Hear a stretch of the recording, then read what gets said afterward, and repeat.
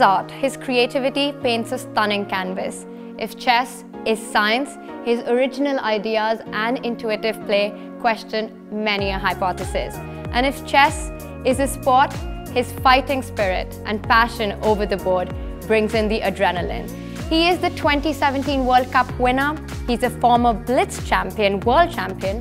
He's also won several elite events, including the Sinquefield Cup, Norway Chess, Grenke Chess, Wijk-aan-Zee, Tal Memorial, to name a few.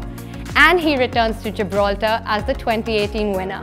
We are privileged to have with us the one and only Levon Aronian. Welcome back to Jiblev. Thank you. How is it to be back here?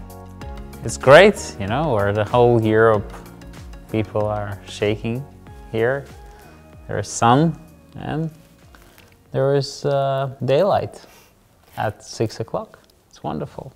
Great. Now, the tournament's about to begin. We're going to start the Masters soon. What's the general feeling when you return to an event as the defending champion? General feeling is, uh, especially when it comes to Gibraltar um, tournament, is you want to start on, on a good note because this is the first event of the year and you want to have a good, good tournament and generally it, it's kind of, uh, you know, it's a fresh start. It's very exciting. So uh, I, th there is no better place to start the year, I think. That's really nice to hear. Now, Lev, there's been a sort of a shift in the chess calendar of the very elite players in the world. There was a time when this was a very decided calendar. You played amongst each other. Um, there were these closed events that happened. But we see more and more elite players participating in open events like Gibraltar. What do you think is the reason for that? The reason is I think the elite players are tired of playing against each other. We want some excitement. Some action. Yeah, we, we want to face other players. We want to see, uh, you know, uh, what, what does it feel like to, to play some risky op riskier openings, you know, to try to win more with black. So I guess that's why the elite players like to play in open tournaments. And you know, uh, we normally get accused to say, oh, they all play against each other, but that's not our design. We're, we, we like to be open, and that's why I think tournaments like Gibraltar Chess, Isle of Man is, is something that we all look forward to. Right now, and in these events, when there is a no set players list and you don't really know who you'll be playing against, what's the preparation like for such an event? You have to try to be fresh, generally. You know, just to play lots of blitz is useful. I think that's what I'm going to do tomorrow. Generally, you you have to prepare cre creative. You know, you have to uh, be more open to new ideas in the openings. I think to to be having a good tournament here. To be open to taking more risks. I guess. Right. Uh, now also give us some insight, a player like you, one of the elite players of the world, when you're deciding your calendar of the year, what are the factors that come into play to decide what tournaments you play in and what you don't play in?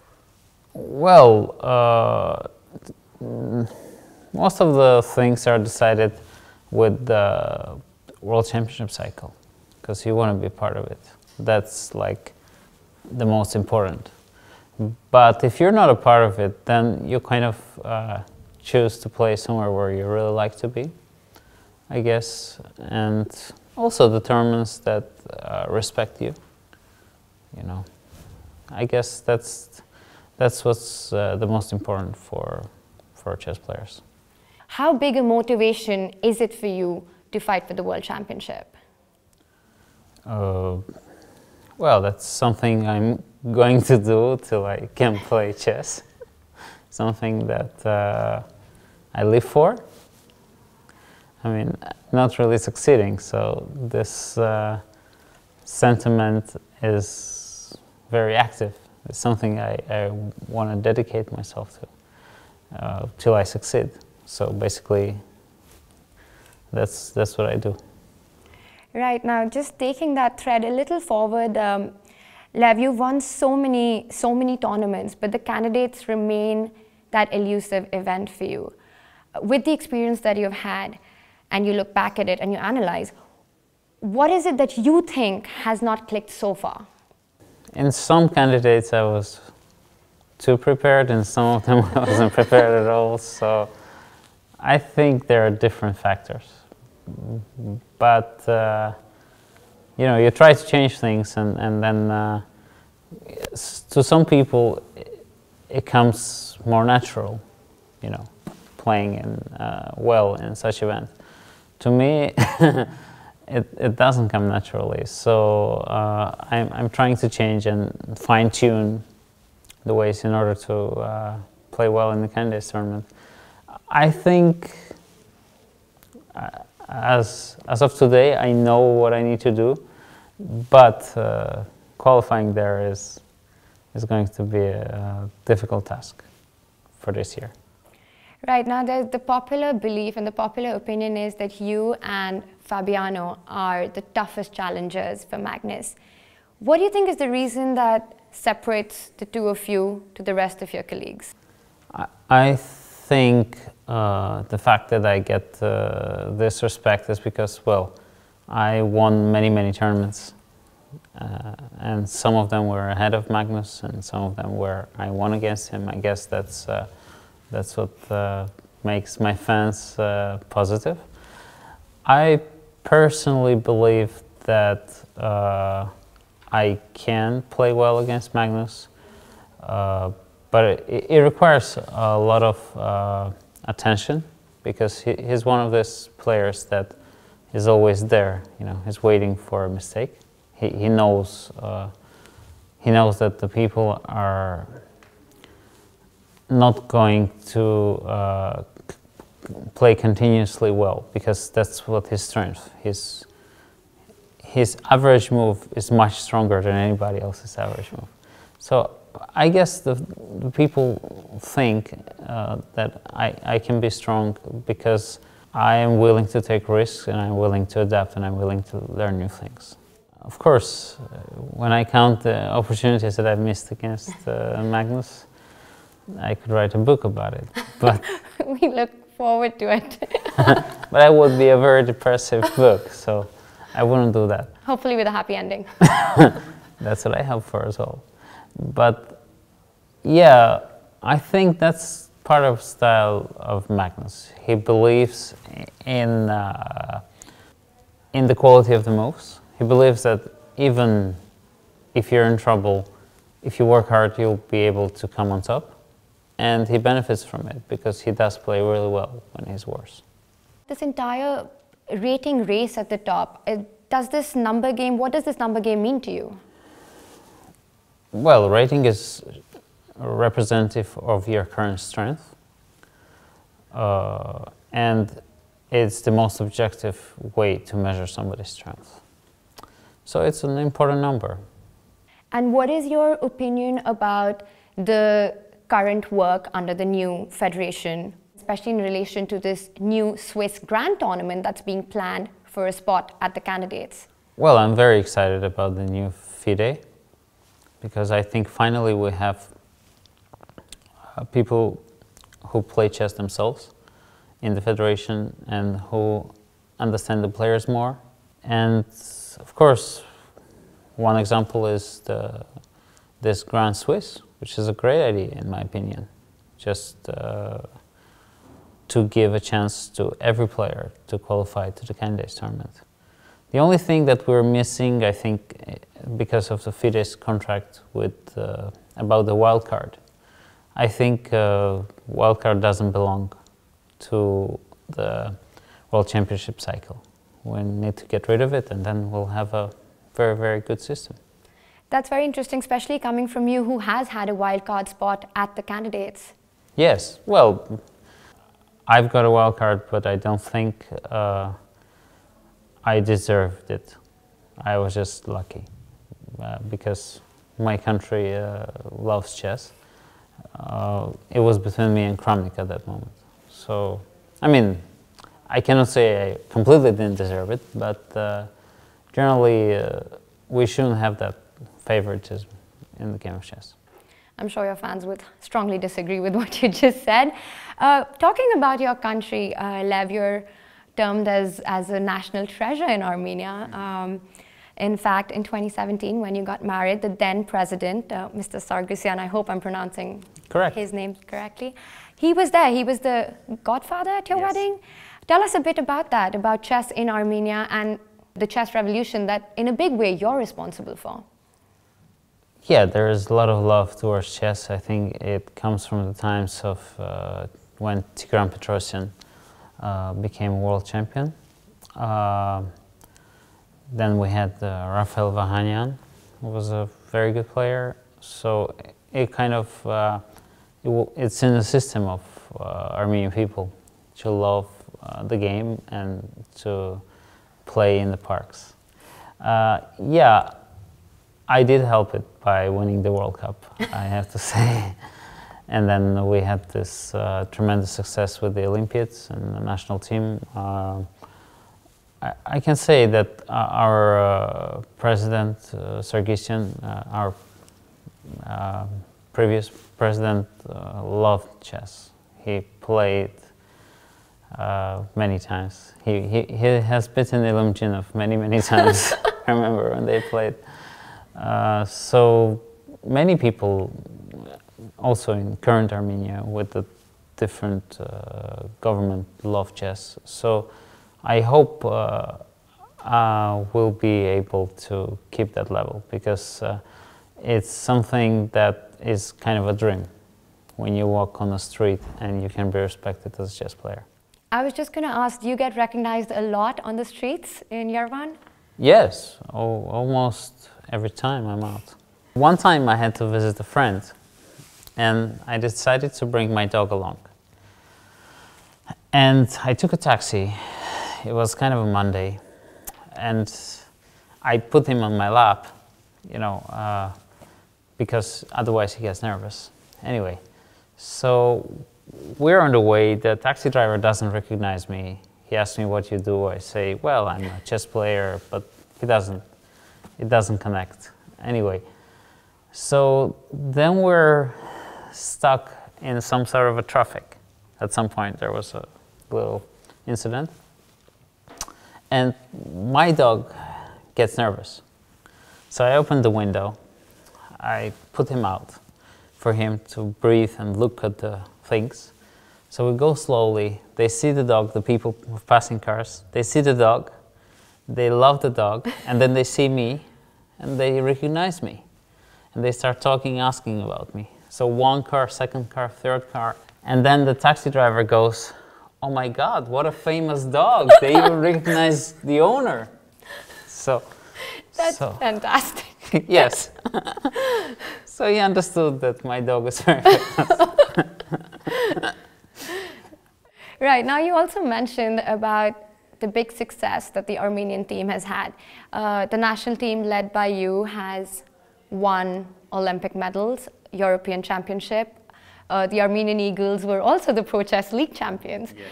What is, uh, what do you think is the reason that that the team is so successful at team events despite often not being the favorites on paper? Uh, generally, I think many Armenian players are underrated. So they, uh, because as a as a nation, we tend to get carried away at some point. We get some success, and then we're like, yeah, well, the world is ours. so, uh, and then uh, our rating drops, but we're very good players, as the team showed with. Uh, uh, Gabriel Sargissian, Vladimir Akopian, Sergei Movsesian, uh, Tigran Petrosyan, and uh, the other players. We won uh, three Olympiads, the World Championships, so it shows uh, for the strength of the players. Yeah, generally the Armenian players uh, and also players from Caucasus have this special style. We like to maneuver a lot. We don't like to agree to draws. We like to play long games. So there is this common uh, something that unites players from Armenia, Azerbaijan, and Georgia. Right, this same spirit of fearlessness over the board. Uh, now, Lev Karjakin once said he, he related your style of play, he called you the Messi of chess, talking about your style of play. Did he did he say he was messy or or? Maybe he meant that you're really messy on the board, but we're gonna go with Lionel Messi for right now. And Vishy said that you're a D4 player who plays in the style and treats it like E4. Gary said that the world is a better place when Lev is playing well, but he also said that Levon faces his losses with a smile, mm-hmm. and he believes that to be the world's best player, you need to hate losing. CNN called you the David Beckham of chess. Which out of these is the most flattering or the most amusing for you? Well, being compared to probably the greatest living football player in history, Wait, David Beckham or Messi? Messi. That's very flattering.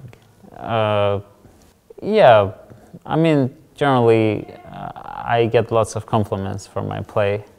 Uh, but the fact is, I don't like losing. I don't like losing at all, but I try to uh, pretend uh, I'm okay with it. the thing that I believe in that when you lose, you have to respect your opponent. You have to, uh, and you know, appreciate the fact that he played a good game. So, uh, but generally, uh, since I normally come back with wins after losses, it shows my attitude towards the losses themselves. I prefer wins. Absolutely, and you are known for your wonderful sportsmanship. Now, when one studies your games, one gets a feeling of, of beauty in chess. What is it about the game that brings you pure joy? There are certain things that I really enjoy the, the most in the game of chess. I love maneuvering a lot. I love when you uh, can transfer your pieces in a nice way. Uh, I love uh, domination, especially the, some brand of domination, which I think was uh, branded by Boleslavsky, uh, by some of the most beautiful domination in the game of chess, is when you attack a minor piece and it cannot move. When you attack the minor piece and you dominate the position so much that you win it. Uh, there are many, many beautiful things, but one thing I can say that I don't stop getting amused by the amount of beauty there is in the game of chess. I, I see it every day, and it's something that inspires me all the time. Many forms of art are something that really uh, affects me, just uh, in a positive way or you know literature or and same way I can say about chess. So I uh, yeah I can say I'm very romantic, although nowadays I think uh, for most of the people it's it's sign of being vulnerable, but uh, I don't feel vulnerable. I'm I'm there to fight, but also to appreciate beauty. You've also been in the top 10 for a very, very long time. For a player of your level, what are the biggest challenges involved with being one of the best players in the world? I think biggest challenges when you start, uh, you know, losing is the way to come back. That's uh, biggest challenge because you need to change things. I always get inspired by people like Boris Gelfand, Vladimir Kramnik, and because uh, they always try to learn new things. And Vasily Ivanchuk, my most favorite player. Mine too. I think I've learned that uh, to be to have more fighting spirit, because uh, the younger guys, uh, especially Magnus, who started this, uh, I mean, he basically copied everything that Bobby Fischer did. He didn't really start it, but he copied Bobby and uh, Karpov's approach. Uh, is to play chess without really thinking about the objective uh, assessment of the position. That's very important. Just to play good moves without really thinking that I'm better, I'm worse, or uh, I want I want something. Playing chess without wanting is is very important. Have you also studied a lot from chess books? Uh, I studied a lot from chess books when I was little. I think I've read uh, at least 200 books till I turned, uh, I would say 17. I've read one after another. I actually love to read. I, I read uh, at least one or two books a month.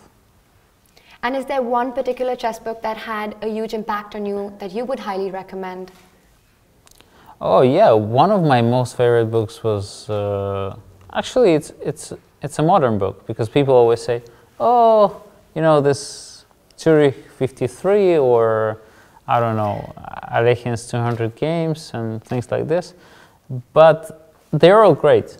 All of those books are great, but the most profound thing that the book that was uh, influencing the way I think was Rowson's uh, chess Seven Deadly Sins, because uh, it talks about the subjects that I knew were there, but I couldn't express it. And I always wanted to write some, some, something with uh, Jonathan, something like an improved version from a different perspective. But we're both very busy, so maybe one day we'll do it. That's a great recommendation. That's actually been spoken about a lot by the top players.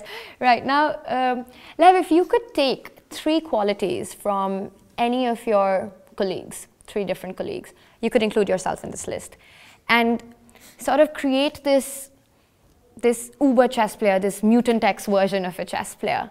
What are these three qualities and from whom would you take them?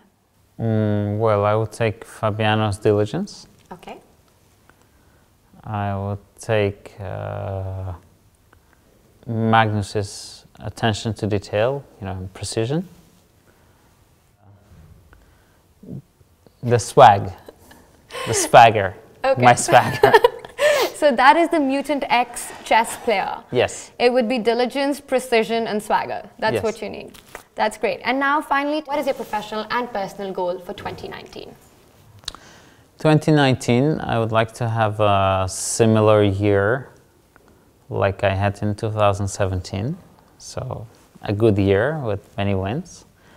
And personal, uh, well, um, I'm, I'm so happy generally in life that it's difficult to ask for more. That I just want my family to be healthy and, and uh, my the people close to me to to enjoy what they're doing. So that's that's what I want. Well, on that wonderful note, we're going to end this interview. Thank you so much. It's been an absolute pleasure chatting with you, and we wish you all the best for the Gibraltar Masters. Thank you. Thank you, Lev.